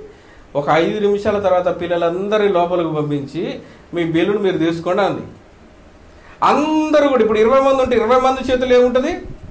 బెలూన్ ఉంటుంది. దాని మీద పేరు ఉంటుంది అది వాళ్ళదా కాదు. నా బిల్లు ఏది నా బెలూన్ అని చెప్పి ఏం చేస్తున్నారు? ఇక టెన్షన్ స్టార్ట్ అయింది. అంతకుముందు నాది అని మన దగ్గర ఉన్నప్పుడు ఆనందమే. అంతే కదా? నాది అనుకుని మన దగ్గర ఉన్నప్పుడు ఆనందమే. ఇప్పుడు పోగొట్టుకున్న పరిస్థితి కాగానే ఏం జరుగుతుంది? నాదెక్కడుంది? నాదెక్కడుంది? టెన్షన్ మొదలైంది. ఇక టెన్షన్ మొదలు ఏం జరుగుతుంది? అందరి చేతిలో ఉన్న ఎవరిది ఎక్కడుంది? ఎవరికి తెలుసు? అప్పుడు ఏం చేస్తున్నారు? వారు సొంతంగా ఆనందాన్ని ఎత్తుకునే ప్రయత్నం. అంతే కదా? వాళ్ళ బెలూన్ దొరికితే వాళ్ళ ఆనందం దొరుకుతుంది. అప్పుడు అలా ఆనందం కోసం వెతుకుతున్నప్పుడు నువ్వు చూస్తున్నావు ఇది నాది కాదు కింద పడేస్తున్నావు కదా? కింద పడేయగానే మనం తీసుకుంటున్నావు మళ్ళీ చూస్తే మనది కాదు. అలా వెతుకుతూ అలా ఐదు నిమిషాలేసరికి ఎవరో ఒకరు దయ నాకు దొరికింది అనగానే వాడిని చూడగానే మనకేమనిపిస్తుంది? వాడేమో ఆనందపడుతున్నాడు వీళ్ళేమో ఇంకా దొరకలేదు కదా? అనుకొని బాధపడుతున్నారు. అలా ఒకరు ఇద్దరు ముగ్గురు తమ ఏదైతే బెలూన్ అనుకున్నారో అది దొరకగానే ఆనందిస్తుంటే మిగిలిన వాళ్ళంతా ఏమైపోయారు చెప్పండి? ఇప్పుడు ఎందుకు బాధ కలిగింది అంటే ఇతరులు పొందుకుంటున్నప్పుడు ఏం కలుగుతుంది అతనికి? నాది ఇంకా దొరకలేదని బాధ కలుగుతుంది. ఒక ఐదు నిమిషాల తర్వాత అలా ప్రతి ఒక్క విద్యార్థి ఏమైపోయాడంటే చాలా ఇబ్బంది పడుతున్నారు. దొరక్క. అప్పుడు టీచర్ ఏం చెప్పిందంటే అందరూ నిలబడండి అని చెప్పింది. నిలబడిన తర్వాత ఏం చెప్పిందంటే మీ చేతిలో బెలూన్ ఉంది కదా ఆ బెలూన్ మీద బెలూన్ మీద పేరు ఉంది కదా ఏ పేరు ఉందో వాళ్ళకి ఇచ్చేయమని చెప్పింది. ఎంతసేపులో పంపిణీ అయిపోద్ది? అర్థమైందా? ఆ బెలూన్ మీద పేరు ఎవరిది ఉందో వాళ్ళకి ఇచ్చేయండి అనగానే మనం ఏం చేసాం అంతకుముందు? ఈ బెలూన్ పేరు చూసాం మనది కాదని కింద వేసాం అలా సమయం వృధా అయిపోయింది ఆనందము ఎగిరిపోయింది బాధే మిగిలింది. కానీ ఎప్పుడైతే ఆ బెలూన్ ఎవరిదో వాళ్ళకి ఇచ్చారో ఎంతసేపు? సెకండ్లలో తమ ఆనందం వాళ్ళకి ఇప్పుడు ఆనందం ఎప్పుడు వస్తుంది చెప్పండి. మనం అనుకుంటాం ఆనందం ఎప్పుడు దొరుకుతుంది? నేను కావాలనుకున్నది పొందితే దొరుకుతుందని మనం అనుకుంటాం. అంతే కదా? నాతో పాటు అందరికీ ఏం కావాలి? అది దొరికితే ఆనందం ఇంకా గొప్పది. ఇప్పుడు మనది అనుకున్న పోయింది అనుకోండి మనం ఏం చేస్తుంటాం? చాలా బాధపడుతుంటాం. అంతే కదా? అదే ఇతరుల ఆనందాల్లో మనం ఆనందం వెతికామనుకోండి ఏం జరుగుతుంది? నువ్వు ఆనందంగా ఉంటావు. మరి అంత చిన్న పిల్లల విషయంలో చిన్న పిల్లల విషయంలో వాళ్ళకి ఆ పాఠం నేర్పించింది కదా? మరి మరి మనకు అర్థమవుతుందా? మనం ఏం చేసాం? మనమే మన ఆనందాన్ని వెతుక్కుంటున్నాం మనమే ఆనందించాలనుకుంటున్నాం. ఒకవేళ బాధ ఎదురైతే కృంగిపోతున్నాం. ఇదే కదా మనిషి జీవితంలో జరుగుతుంది? ఈ విధంగా మనిషి ఆలోచించటం వలన ఏ విధంగా జీవిస్తున్నాడు అనేది పాఠం. కీర్తన గ్రంథము నూట ముప్పై ఒకటవ అధ్యాయము. చాలా చిన్న అధ్యాయము నేను చదువుతాను ముందు. అలా ఉందో లేదో మొత్తం చదివాక చూడండి. కీర్తన గ్రంథము. కీర్తన గ్రంథం ముందు నేను చదువుతాను జాగ్రత్తగా మీరు చూడండి. కీర్తన గ్రంథము నూట ముప్పై ఒకటవ కీర్తన. నేను చదువుతాను జాగ్రత్త జాగ్రత్తగా వినండి. ఈ యాత్ర కీర్తన ఎవరిది? దావీదుది. నేను చదువుతాను జాగ్రత్తగా వినండి. యహోవా నా హృదయము అహంకారము గలది. నా కన్నులు మీదుగా చూచునవి. నాకు అందరి వాటి ఎందైనను గొప్ప వాటి ఎందైనను నేను అభ్యాసము చేసుకొనిచున్నాను. నేను నా ప్రాణము నిమ్మలపరుచుకొనక ఉన్నాను సముదాయించుకొనకయున్నాను. చనుపాలు విడిచిన పిల్ల తన తల్లి యొద్ద ఉన్నట్లు చనుపాలు విడిచిన పిల్ల ఉన్నట్లు నా ప్రాణము నా యొద్ద లేదు. ఇస్రాయేలు ఇది మొదలుకొని నిత్యము లోకం మీదే ఆశ పెట్టుకున్నాను. అట్లే ఉందా? మన జీవితం అలాగే ఉంది. ఎగ్జాక్ట్లీ చదివితే అలా చదవచ్చేమో. అవును కదా? మీరు చదువుకుంటే అలా చదువుతారు ఉన్నది ఉన్నట్టు చదువుతారు. మీ జీవితాన్ని చదివితే ఎలా ఉన్నా చెప్పండి. ఎలా ఉన్నా మొదటి వచ్చిన ఏంటి? మన హృదయము ఏంటిది? అహంకారము గలది. కాదా అవునా అంటే కలదే. ఎందుకు చెప్పండి? మన కన్నులు ఎటు చూస్తున్నాయి? మీదికి చూస్తున్నాయట. మనల్ని ఎలా పోల్చాడో తెలుసా? గొర్రెలతో పోల్చాడు. అవును కదా? మనల్ని ఎలా పోల్చాడు? ఎందుకు గొర్రెలతో పోల్చాడు? ఎప్పుడైనా చూసారా? గొర్రె తలెత్తదు. అవునా కదా? తలెత్తదు. తనకు అందరి వాటి మీద అది అభ్యాసం అంటే విద్య. తనకు అందని వాటి మీద లక్ష్యం ఈ భూమి మీద అది కావాలి ఇది కావాలి అని తనకు దొరకకపోయినా అది కావాలనుకొని ప్రయత్నం చేయనిదేంటిది గొర్రె. మేకైతే ఏం చేస్తుంది చెప్పండి? రెండు కాళ్ళు లేపోయినా సరే ఏం చేస్తుంది? అందరి వాటి మీద దృష్టి ఉంచుతుంది అది. ఈరోజు మనుషులంతా దేని మీద లక్ష్యం పెట్టారు? దేని మీద లక్ష్యం? అందని వాటి మీద లక్ష్యం ఉంచారు. అందని వాటి మీద లక్ష్యం ఉంచారు కనుక ఏం దొరకట్లేదు? ఏం దొరకట్లేదు? కింద చెప్తున్నాడు. అలా అందరి వాటి మీద లక్ష్యం ఉంచితే కిందికి చెప్తున్నాడు. చూడండి. నాకు అందైన అందని వాటి అయినను. గొప్ప వాటి అందైన ఎందైనను. అభ్యాసము చేసుకొనట లేదు. ఇప్పుడు ఒకవేళ మనము గనక అందని వాటి మీద లక్ష్యం పెట్టామనుకోండి మన ప్రాణం ఎలా ఉంటుందట? నిమ్మలంగా ఉండదు. ఎవరు చెప్పండి రెక్కలు గల పక్షులు ఎంతమంది? అర్థమైందా? రెక్కలు గల పక్షులు ఎవరు? అవును కదా? అలా అనగానే ఏమైపోతుంది? నాది అంటానికి ఏమైనా ఉందా దానికి? అమ్మో నాదంతా కోల్పోతున్నాను ఏమైనా బాధ ఉందా? లేదు. ఎందుకు? నాకు రెక్కలున్నాయి వెళ్ళిపోతా అంతే. అనగా నీకు ఉండడం ఇష్టం లేకపోతే నేను వెళ్ళిపోతా అంతే. అంతే అనుకుంటుంది ఇది నాది నాకే కావాలనుకుంటుందా? అందుకోసం ఈరోజు మనిషి ఎగరలేకపోతున్నాడు. ఎలా? రెక్కలు కలిగిన పక్షిలాగా మనిషి లేడు. కనిపించని తాళ్ళే కట్టుకొని మనంతట మనమే కట్టుకొని కదలలేని స్థితిలో ఉన్నాం. ఎలా ఉన్నామంటే ఏనుగులా ఉన్నాం. ఎలా ఉన్నాం? ఏనుగులాగా ఎలా ఉంటారు తెలుసా? ఏనుగు చిన్న పిల్లప్పుడు చేస్తారు. చిన్న పిల్లప్పుడు తెచ్చి దాన్ని గొలుసులతో కట్టేస్తారు. ఏం చేస్తారు? చిన్నప్పుడు తీసుకురాగానే అది ఏం చేస్తుందంటే పారిపోవాలనే ప్రయత్నాలు అనేకం చేస్తాయి. చేసి చేసి చేసి ఆ గొలుసులు దాటి బయటికి వెళ్ళగలదా? తన శక్తి సరిపోద్దా? సరిపోదు. అలా ప్రయత్నం చేసి చేసి చేసి అనుకుంటుంది ఒక తీర్మానానికి వస్తుంది. ఏంటి తెలుసా? ఈ గొలుసులను దాటి నేను బయటికి వెళ్ళలేదు. దీన్ని నేనేమి చేయలేను. అలా అనుకొని ఫిక్స్ అయిపోయిన తర్వాత ఎప్పుడైతే ఇక నేను పారిపోవాలి అనేటువంటి ఆలోచన విరమించుకుంటుందో అలా ఎదుగుతూ ఎదుగుతూ ఎదుగుతూ ఎలా ఉంటుంది చెప్పండి అది? ఇంత ఉన్నది ఎంత అవుతుంది? ఇలా చూసే అంత అవుతుంది. అంతేనా కదా? అలా చూసే అంత ఎదిగిన తర్వాత దాన్ని దేంతో కట్టేస్తారో తెలుసా? కొబ్బరి ఆకుతో కట్టేస్తారు. తేనెతో? కొబ్బరి ఆకుతో కట్టేసినా కానీ ఒక్క అడుగు కూడా కదదు ఎందుకు? ఫిక్స్ అయిపోయింది అంతేగా చిన్నప్పుడు ఎన్నిసార్లు ప్రయత్నం చేశాను నేను. నా వల్ల అయిందా? గాయాలు అయ్యాలి కానీ నా వల్ల అయిందా? కాలేదు. ఇప్పుడు ప్రయత్నం చేసి మాత్రం లాభం ఏముంది? అవును కదా? ప్రయత్నం చేసి లాభం ఏముంది? అనుకొని ఏం చేస్తారు? చిన్న చిన్న తాళ్ళు లేదంటే కొబ్బరి. ఎందుకంటే కొబ్బరి ఆకులు తింటది కదా. అవే చిన్న తాళ్ళలాగా చేసి కట్టేస్తే కదలకుండా ఉండిపోతాయి. ఇప్పుడు దాని సైజు దాని శక్తి ఎంత పెరిగింది? నేను ఇంకా అలానే ఉన్నాను నా శక్తి అంతే ఉందనుకుంటుంది అది. అంతే కదా? నాకు ఇంతే శక్తి ఉందనుకునేంత భ్రమలో దాన్ని పెట్టి దాని చిన్న చిన్న తల ఒకవేళ అదే ఇప్పుడు గొలుసులు పెడితే ఉంటుందా అది? గొలుసులకు ఉంటుందా? గొలుసులు కూడా లాగేసుకొని వెళ్ళిపోద్ది. కానీ ఇప్పుడు ఏ ప్రయత్నం అది? చెయ్యదు. బందీ అయిపోయింది. అందుకోసం అంటున్నాడు ఇక్కడ నా ప్రాణమును నిమ్మలపరుచుకొని ఉన్నాను అంటున్నాడు ఆయన. నా ప్రాణమును నిమ్మలపరుచుకున్నాను. ఈరోజు నిమ్మలంగా ఎవరున్నా చెప్పండి? నిమ్మలంగా ఉండి కనీసం అన్నమైన తింటున్నాడా? అన్నమైన తింటున్నాడా? ఈరోజు డెవలప్మెంట్ అంటే ఏంటో తెలుసా? తిండి దొరకని స్థితి నుండి తిండి తినడానికి తీరిక లేని స్థితిలో ఉండటమే డెవలప్మెంట్. ఈ లోక డెవలప్మెంట్ ఏంటిది? తిండి దొరకని స్థితి నుండి తిండి ఉన్నా తినడానికి తీరిక లేని స్థితిలోనికి వెళ్ళడమే రేపు మన పిల్లలకి ఇచ్చే డెవలప్మెంట్. ఎంతమందికి అర్థమైంది? టైం లేదన్న టైం లేదంటే అర్థమైతే ఓహో కనిపించని తాళ్ళే కాదు గొలుసులే కట్టేసారు వీళ్ళకి. దేనికి?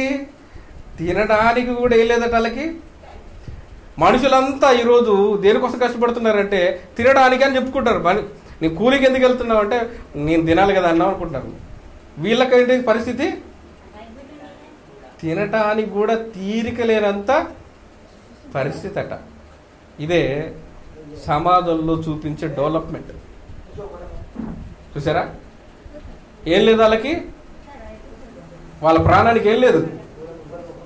నిమ్మలం లేదు. నెమ్మది లేదు. ఎందుకో తెలుసా? అదే చెప్తున్నాడు. ఆయనైతే తన ప్రాణమును నిమ్మలపరుచుకున్నాడు. ఎందుకంటే గొప్ప వాటి మీద ఆశ ఆయనకి లేదు. ఎవరికి లేదు? ఎవరికి లేదు? ఈ కీర్తన రాస్తున్న వ్యక్తికి కళ్ళు ఎడ చూస్తున్నాయి? పైకి చూడట్లే. అందరి వాటిని లక్ష్య పెట్టలేదు ఆయన. లోకం ఏదైతే చూస్తుందో అవన్నీ లక్ష్య పెట్టలేదు ఆయన. ఆయన కళ్ళు మీదుగా చూసేవి కావు. మీదుగా చూసేవి అంటే ఉదాహరణ మీదుగా చూడటం అంటే అర్థం ఏంటది? మీరు నా మీదుగా చూస్తే ఏం కనబడుతుందండి? మీరు నా మీదుగా చూస్తే ఏం కనబడుతుంది? నా మీదుగా చూస్తే అంటే నా మీదుగా చూస్తే ఏం కనబడుతుంది మీకు వెనక? అంతే కదా మీదుగా చూడటం అంటే అదే కదా? అంటే ఏం చేస్తున్నావు? మనకేముందో చూడట్లేదు కానీ మనం ఏం చేస్తున్నాం అవతల వ్యక్తికి ఏముందా అని చూస్తున్నాం అవతల వ్యక్తి ఏం చేస్తున్నాడో అని చూస్తున్నాం అవతల వ్యక్తి ఏం తింటున్నాడో చూస్తున్నాం నీకు అర్థం కావట్లే. తిండి తిన్నాడని కూడా తిరగలేదని వెనకనే చూస్తున్నాం ఆయన చూడట్లేదు. ఎవరు చూడట్లేదు? తిండికి తీర తినడానికి తీరికైన వ్యక్తిని చూడట్లేదు మనం. ఎవరు చూస్తున్నాం? ఆయన వెనకున్నది చూస్తున్నాం. అలా అయిపోవాలని అందుకోసం మనకేం లేదు? ప్రాణమునకు నిమ్మలం లేదు. నిమ్మలం లేదు. ఎందుకు లేదు? మనకు అందని వాటి ఎందు మన అభ్యాసం విద్య ప్రతి మనిషి విద్య ఏంటి? నువ్వు పది మోస్తే ఇరవై పట్టుకో. ఇరవై మోస్తే ఇరవై మోసే సామర్థ్యం ఉంటే యాభై పట్టుకో. మొత్తానికి తాళ్ళతో కట్టుకో. కనిపించని తాళ్ళు ఎగిరే పక్షులు ఎవరు? క్రైస్తవులు కూడా ఇదే పరిస్థితి. ఎగిరే పక్షులు లేరు. దేవుని కోసం ఎక్కడికంటే అక్కడికి వెళ్ళిపోవడం అన్నట్టు ఎవరున్నారా కనిపించని తాళ్ళు మనకు మనమే కట్టుకుంటున్నాం. కారణం కారణం ఏంటంటే అందరి వాటి మీద అభ్యాసం ఎక్కువైపోయింది క్రైస్తవులకి. నెమ్మది నెమ్మది లేదు. నిమ్మలం లేదు. ప్రశాంతంగా భోజనం కూడా చెయ్యలేని భయంకరమైన స్థితిలో ఉన్నారు. ఎందుకో తెలుసా?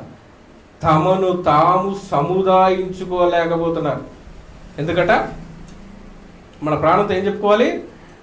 సముదాయించుకోవాలి. నువ్వు లోకం లక్ష్యాన్ని పెట్టుకున్నవాడు కాదు. లోకము కంటే గొప్పదైనటువంటి లక్ష్యాన్ని పెట్టుకున్నవాడు అని ఏం చేయాలి మన ప్రాణాన్ని? సముదాయించుకోవాలి. ఎంతమంది సముదాయించుకుంటున్నారు? మనం ఏం చేస్తాం? పక్కోడికి చిన్న డైమండ్ దొరకగానే మన లక్ష్యాన్ని పక్కన పెట్టి ఇక్కడ దొవ్వితే బాగోలేదు దొరకట్లేదని అక్కడ దొవ్వే ప్రయత్నం చేసాం ప్రయోజనం ఉందా? లేదు. ఎందుకంటే సముదాయించుకోవాలి. వాక్యం అంటేనే సముదాయించుకోవడం. ఒక వ్యక్తి ఏడుస్తున్నాడు అనుకుంటే ఏం చేస్తారు? సముదాయిస్తారు కదా. నష్టపోయిన ఏం చేస్తాం మనం అతని అవును కదా? ఒక వ్యక్తి పక్కనున్న వ్యక్తి ఒక వ్యక్తిని కోల్పోయినా తన వారిని ఒక నష్టం వచ్చిన ఏం చేస్తుంటాం మనం? మరి మనకు మనం సంపాదించుకోవాలి పక్కనోళ్ళు కాదు. ముందు ఎవరికి సముదాయించుకోవాలి? మనల్ని మనమే సముదాయించుకోవాలంటే నిన్ను సముదాయించేది ఏంటిది? వాక్యం. ఇప్పుడు వాక్యాన్ని గురిపెట్టాం అనుకోండి వాక్యం మీదుగా చూడం. అంతే కదా వాక్యాన్ని గురిపెడితే వాక్యాన్నే చూస్తాం. వాక్యం మీదుగా చూడం. ఎగ్జాక్ట్గా ఈ వర్డ్ ఎవరికి పనికి వస్తుంది అంటే లోతు భార్యకి. లోతు తన కుటుంబంతో కలిసి బయలుదేరినప్పుడు దేవుడు చెప్పాడు ఏం చెప్పాడు? వెనక తిరిగి చూడొద్దు అన్నాడు. వెనక తిరిగి చూస్తే ముందు ఎవరు కనబడతారో తెలుసా మీకు? తెలుసా మీకు? లోతు భార్య పరిగెడుతుంది కదా? తెలుసా మీకు అందరికీ? సొదమ పట్టణాలను నాశనం చేయాలనుకున్నప్పుడు దేవుడు వాళ్ళను వెనక తట్టు చూడకుండా పరిగెత్తండి అన్నప్పుడు ఆ దగ్గరలో ఉన్నటువంటి కొండ కోసం దగ్గర కోసం పరిగెడుతున్నారు. అలా పరిగెడుతున్నప్పుడు లోతు భార్య ఏం చేసింది? వెనుక తట్టు తిరిగి చూసింది కదా? అసలు వెనక తట్టు తిరిగితే ఎవరు కనబడతారో తెలుసా? ఎవరు కనబడతారో తెలుసా? సముదాయించే వ్యక్తి కనబడతాడు. ఎవరైనా? సముదాయించే వ్యక్తి ఎవరు అక్కడ? సముదాయించే వ్యక్తి అంటే అది పోతే పోనీలిక మనది కాదు వదిలేయి అని చెప్పగలిగే వ్యక్తి ఎవరు అక్కడ? లోతు కనబడతాడు. ఎవరికి? ఎవరికి? లోతు భార్యకి. ఎవరు? ఎవరు కనబడతారు? లోతు కనబడతాడు. ఎవరికి? లోతు భార్యకి. కానీ లోతును చూడట్లేదు ఆమె. లోతు మీదుగా ఎవరు చూసింది? అంతే కదా. లోతులు ఎవరు? ఏముంది? దేవుని వాక్యం ఉంది. దేవుని వాక్యం ఏం చెప్తుంది? వెనక తట్టు తిరిగి చూడకు అని చెప్తుంది. ఒకవేళ లోతును చూసిన ఏం చెప్పాడు ఏం చెప్తాడు? నువ్వు ముందుకే చూడు ఎరక చూడకు. నాకంటే ఎరక చూడకంటే లోతు భార్య ఏం చేసింది తెలుసా? లోతు మీదుగా చూసింది. కనీసం లోతును చూసినా ఆయన చెప్పేవాడు. లోతును చూడకుండా ఏం చూసింది? లోతు మీదుగా ఎవరు చూసింది? ఏమైపోయింది? ఏమైపోయింది? ఉప్పు స్తంభంగా మారింది. చూడండి ఒకసారి ఆది కాండము ఏం చేసిందో చూద్దాం. ఆది కాండములో ఆమె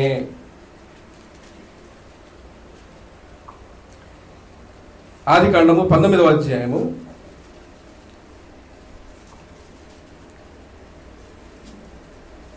పంతొమ్మిదవ అధ్యాయము ఇరవై ఆరో వచనం.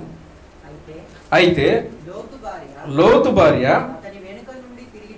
నుండి ఎవరు వెనక నువ్వు చూస్తుంది? ఇప్పుడు ఎవరు చూడాలో చూస్తే? లోతును చూడాలి. లోతును చూసినా కానీ సముదాయించేవాడు. మనం చూడాల్సింది అది కాదు ఇక మనకు అక్కడ ఏమి లేదని చెప్పేవాడు. కానీ ఎవరు చూస్తుంది? వెనక నుండి తిరిగి చూచి ఉప్పు స్తంభమాయను. కనీసం లోతును చూసినా కానీ చెప్పేవాడు. ఏమని? చూడొద్దు అని. కానీ ఏం చేసింది? లోతును లక్ష్య పెట్టుంటే కనీసం బ్రతుకుండేది. కానీ లోతును లక్ష్యంగా చేసుకోనక అందని వాటిని ప్రాణాన్ని నిమ్మలపరుచుకోక సముదాయించుకోక ఏం చూసింది? ఏమైపోయింది? ఆగిపోయింది. అంతే కదా? ఆగిపోయింది అంతే. ఉప్పు స్తంభం అయిందంటే అర్థం ఏంటి? ఆగిపోయింది అంతే. మిగతా వాళ్ళు పరిగెడుతున్నారా లేదా? వాళ్ళు వాళ్ళ లక్ష్యాన్ని చేరుకున్నారు కానీ లక్ష్యాన్ని ఎవరు చేరలేదు? చేరలేదు. మీదుగా చూసిన వాళ్ళు ప్రాణాన్ని నిమ్మల పరుచుకొనని వాళ్ళు తమను తాము సముదాయించుకొనని వాళ్ళు ఏం చేయలేరు? లక్ష్యాన్ని చేరుకోలేరు. నిమ్మలపరుచుకోకపోతే ఏం చేస్తారు? మళ్ళీ వెనకదట్టు అందని వాటిని లక్ష్యం ఉంచుతారు. అందుకోసమే అక్కడ ఆయన అంటున్నాడు నా హృదయం అహంకారము గలది కాదు. నా కన్నులు మీదుగా చూసేవి కావు. నాకు అందరి వాటి ఎందైనా గొప్ప వాటి ఏందైనా నేను అభ్యాసం చేయటం విద్య నేర్చుకోవడం కదా. మన తెలియనిది నేర్చుకోవడమే విద్య అంతేనా? తెలియనిది నేర్చుకోవడమే విద్య. మనమందరం ఏ అభ్యాసం చేస్తున్నాం? ఏ అభ్యాసం చేసుకుంటున్నాం? తెలియని విషయాలు ఎన్నో ఉన్నాయి అవన్నీ నేర్చుకోవడానికి మనం దేవుని వాక్యాన్ని అభ్యాసం చేస్తున్నామా?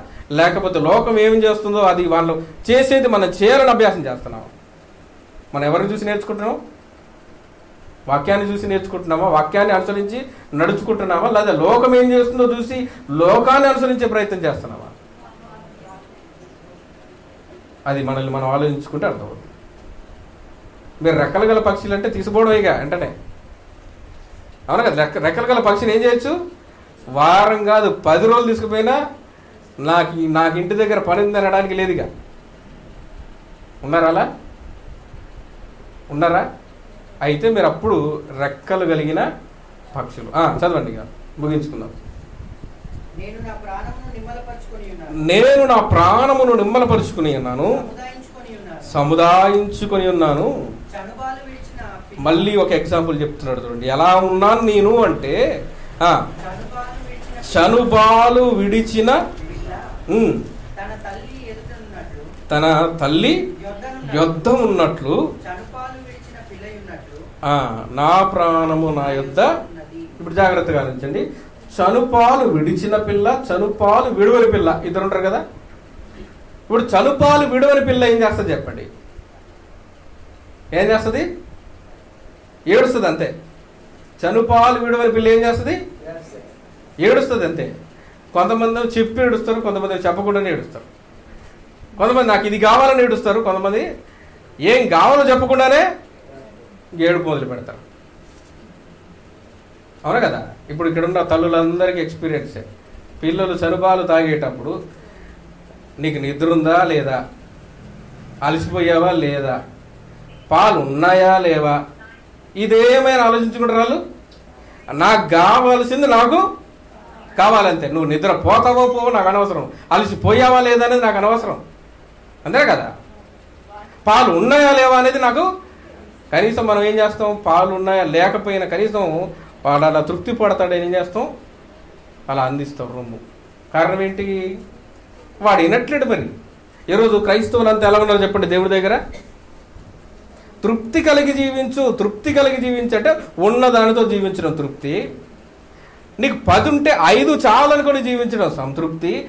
పది ఉంటే పదిహేను కావాలనుకోవడం అసంతృప్తి. ఇప్పుడు మనుషులంతా పక్కన పెడితే క్రైస్తవులు ఎలా జీవిస్తారో చెప్పండి. అవును కదా? చెప్పే సేవకుడికి కష్టాలు ఉంటాయి ఉండవా? ఉంటాయి ఉండవా? ఉంటాయి. వచ్చి ఏం చేస్తారు? మా కష్టాలు ఇవి మా కష్టాలు ఇవి మా కష్టాలు ఇవి. అని మనం అందరం ఏం చేస్తుంటాం? అంటే మనం ఏ కష్టాలు ఏ కష్టాలవి అసంతృప్తయి అసంతృప్తి అందరి వాటిని అభ్యాసం చేసుకున్నాయి అవునా కదా? సంతృప్తి కలిగినటువంటి జీవితం కాదు అది. అందుకోసమే ఎలా ఉండాలి మనం దేవుని దగ్గర అంటే చనుబాలు వీడమని పిల్ల ఏం చేస్తుంది ఇక క్షణం కూడా కదలేదు. పక్క నుండి ఒకవేళ అలా లేచి పక్కన వెళ్దాం ఏం చేస్తుంది? వెంటనే పట్టుకుంటుంది ఏడుస్తుంటుంది చూసారా? దేనికి? అమ్మ కాదు కావాల్సింది. అర్థమైందా? అమ్మ కాదు కావాల్సి అమ్మ లేనందుకు ఏడవట్లేదు. పాలు కావాలి అంతే ఇప్పుడు క్రైస్తవులంతా దేవుడు కావాలని అడవట్లే ఏం చేస్తున్నారు? దేవుడిచ్చేవి కావాలని అడగట్లేదు. దేవుడిచ్చేవి వేరుగా ఉన్నాయి. మనం ఏం చేస్తున్నాం? మనకు కావాల్సింది కావాల్సిందే అని ఏం చేస్తున్నాం? ఏడుస్తున్నాం అంతే. అందుకే ఏం లేదు మనకి? మళ్ళీ మొదటి నుంచి మన హృదయం అహంకారం కలదే. మన కన్నులు పైకి చూసేవే. మన ప్రాణానికి నిమ్మలం లేదు. ఎందుకు? అందని వాటిని గొప్ప వాటిని అభ్యాసం చేస్తున్నాం. మనల్ని మనం సముదాయించుకుంటున్నావా నాకు కావాల్సిందే అంటే ఏడుపు మొదలు పెడితే గంటలు గంటలు గంటలు ఏడుస్తూనే ఉంటారు. సముదాయించుకుంటారు వాళ్ళు? వాళ్ళు చనుబాలు విడువని పిల్లలు. చనుబాలు విడిచిన పిల్ల ఏమనుకుంటే తెలుసా? మా అమ్మ పక్కన ఉంటే చాలు. అంతే కదా? చనుబాలు విడిచిన పిల్ల ఏమనుకుంటుంది? మా అమ్మ పక్కనుంటే చాలు. ధైర్యం అంతే. ఇప్పుడు మీరు ఎవరు చెప్పండి? ఎలా జీవిస్తున్నారో చెప్పండి. ఎలా ఆలోచిస్తున్నారో చెప్పండి. మళ్ళీ మొత్తం లిస్ట్ అంతా రావాలి మళ్ళీ. ఏడిది? యహోవా నా హృదయం అహంకారము గలది కాదు. ఇంకా? నా కన్నులు మీదుగా చూసేవి కావు. నాకు అందరి వాటైనా గొప్ప వాటి ఎందైనా అభ్యాసం చేయట్లేదు. నీ వాక్య ప్రకారం ఉన్నాను. ఎలా? దేవుని రాజ్యాన్ని నీతిని వెతికితే మనకు కావలసిన భోజన పదార్థాలు ఆహారము లేదా వస్త్రము దేవుడు ఇస్తా అన్నాడు. అది తృప్తి. అవునా కదా? తృప్తి. వాడితో నేను తృప్తి కలిగి జీవిస్తున్నాను నువ్వు నాకుంటే చాలనేటువంటి ఆలోచన లేదు. ఇప్పుడు చెప్పండి. దేవుడు మనతో పక్కన ఉంటే బాగుంటుందా? లేకపోతే దేవుడిచ్చే మనతో ఉంటే బాగుంటుందా చెప్పండి. దేవుడిచ్చే ఉంటే మనం ఎప్పటికైనా ఉంటాయి పోతాయి అంతే. వస్తుంటాయి పోతుంటాయి. దేవుడైతే అవునా? దేవుడైతే విడువడు ఏడబాడు ఇప్పుడు ఎవరు కావాలి మనకి? మనకి ఎప్పుడు వస్తుంది ఏడుపు? దేవుడు మనతో ఉండాలనుకోవడం కన్నా ఏం చేస్తున్నాం మనం కోరుకునే దేవుడి చేయగావు మనం కోరుకునే మనతో ఉండాలి అనుకోవడమే సమస్య మనుషులకు సమస్య. ఆ సమస్య కారణంగా ప్రతి మనిషి ఏం చేస్తున్నాడు? ఇబ్బంది పడతా ఉన్నాడు. అవును కదా? ఇబ్బంది పడతా ఉన్నాడు. కనుక ఏమంటున్నాడు? నువ్వు చనుపాలు విడిచిన పిల్ల అయితే మన ఆత్మ నిమ్మలంగా ఉంటుంది సముదాయించుకోగలం అలాగే మన కన్నులు గర్వం చూపు చూడవు. మనమందరం కూడా ఏం చేస్తాం? దేవుని వాక్యమందు అభ్యాసం చేస్తాం. అందుకంటున్నాడు నేను చనుబాలు పిడిచిన పిల్ల యొద్ద పిల్ల ఉన్నట్లు చనుబాలు విడిచిన పిల్ల యొద్ద ఉన్నట్లు నా ప్రాణము నా యొద్ద ఉన్నది. ఆ. ఇజ్రాయేలు ఇస్రాయేలు ఇది మొదలుకొని ఇప్పుడు చెప్పండి. ఎవరి మీద ఆశ పెట్టుకుని ఉంటే ఇవన్నీ జరుగుతాయి? ఆ ఆశ ఏమై ఉండాలి? నీకు కావాల్సింది నువ్వు అడగటం కాదు. దేవుడు ఏమి ఇస్తాడో అది పొందుకోవడం. దేవుడు ఏ విధంగా బ్రతకాలనుకున్నాడో అలా బ్రతకడం. అలా చేస్తే నీ ఆశ తీరుద్ది. లేదంటే ఆశ ఏమవుతుంది? భంగం. అంతే కదా ఆశ భంగం అవుతుంది. అందుకోసమే ఈ అధ్యాయం అంతట్లో ఏం చెప్తున్నాడు? ఈ అధ్యాయం అంతట్లో ఏం చెప్తున్నాడు? ఏం చెప్తున్నాడు? నువ్వు తృప్తి కలిగి ఉన్నావా? లేదా ఇంకా సంతృప్తి కలిగి జీవిస్తున్నావా? లేదా అసంతృప్తితోనే జీవితాన్ని ఈడ్చుకుంటూ వస్తున్నావా అనేది మనల్ని మనం ప్రశ్నించుకోవడానికి దేవుడు ఇచ్చినటువంటి సమాధానమే ఈ కీర్తన. నూట ముప్పై ఒకటి. ఇది ఎప్పుడు కూడా కంటత వాక్యం ఉండాలి. ఇప్పుడు నేను చెప్పినప్పుడే కంటత వాక్యం అయినాలే. అవునా కదా? అవునా కదా? ఏహోవా అసలు కంటత వాక్యం గుర్తుంటుందా? యహోవా? నా హృదయం అహంకారం గలది కాదు. నాకు అందని వాటైనా గొప్ప వాటైనా నేను అభ్యాసం చేసుకోను. అంతే కదా? చేసుకోను. నా ప్రాణము నిమ్మలపరుచుకుంటాను సముదాయించుకుంటాను. నీ యొద్ద నేను ఎలా ఉంటానంటే చనుబాలు విడిచిన పిల్లలాగా ఉంటాను. కేవలం నీ మీదే ఆశ పెట్టుకుంటాను. అన్నట్లుగా జీవితం ఉందనుకోండి. మనం ఎవరని తెలుసా? అది. రెక్కలు కలిగిన పక్షులం. లేకపోతే రెక్కలు కలిగిన పక్షులం. లేకపోతే కనిపించని బంధకాలు కలిగినటువంటి బానిసలం. అంతే కదా బానిసలం. కనుక మీరు బానిసలు అవుతారు స్వతంత్రులు అవుతారు రెక్కలు కలిగిన పక్షులు అవుతారు కనిపించని తాళ్ళ చేత ఇంకా బయటపడుతూ బయటపడతా బయటపడతా బయటపడతా బయటపడతా అనుకుంటూ అందులోనే ఇంకా జారిపోతారు మీ ఇష్టం. దేవుడు మాత్రం అవకాశం ఇస్తున్నాడు నేర్పుతున్నాడు. దేవుని వాక్యానికి లోబడ్డాం అనుకుంటే ఖచ్చితంగా జరుగుతుంది ఏంటిది? రెక్కలు కలిగిన పక్షిలాగా మనల్ని నడిపిస్తాడు రైట్? ప్రార్థన చేసుకుందాం. ప్రేమ కనికరము కలిగిన మా ప్రియ పరలోకపు తండ్రి మీ ఘనమైన శ్రేష్టమైన నామములో ఈ మధ్యాహ్న కాల సమయంలో ఇదిగో దేవ లోకమంతా చిన్న చిన్న లక్ష్యాలు ఏర్పరుచుకొని ఆ లక్ష్యాలలో వారి యొక్క ఆనందాలను చూసుకుంటూ ఉన్నప్పుడు వారు మా కళ్ళ ఎదుటి ఆనందాన్ని పొందుకొని వారు ఆనందిస్తున్నప్పుడు ఆ చిన్న లక్ష్యాలను బట్టి మర్రా మా లక్ష్యాన్ని మా గురిని మేము మార్చుకొనకుండా అదృశ్యమైనటువంటి వాటి యందు మేము దృష్టి ఉంచి శాశ్వతమైన వాటి యందు లక్ష్యం ఉంచి జీవము కలిగినటువంటి దేవుడు అయిన మిమ్మల్నే ఆశ్రయించి మేమందరము కూడా సంతృప్తి కలిగినటువంటి జీవితము మీ ఎదుట జీవించగలుగుటకును అలా జీవించి మీ ఎదుకు రాగలుటకు ప్రతి ఒక్కరు కూడా రెక్కలు కలిగిన పక్షిలాగా జీవించే ప్రయత్నం చేసి అలా జీవించి అలా సమాజానికి మాదిరి చూపించేలాగున మేమందరము బ్రతుకున్నట్లు కృపను అనుగ్రహించమని. ఈ ప్రార్థనను మా ప్రభు రక్షకుడు మీ ప్రియకుమారుడైన యేసుక్రీస్తు యొక్క అతి పరిశుద్ధమైన పవిత్రమైన నామలు అడుగుచిన పరమ తండ్రి. ఆమేన్.